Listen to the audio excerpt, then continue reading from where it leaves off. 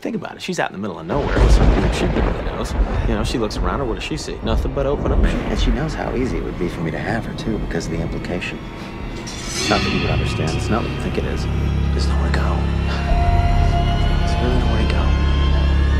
I should have introduced myself earlier. I'm Jack I suspect you are new didn't you?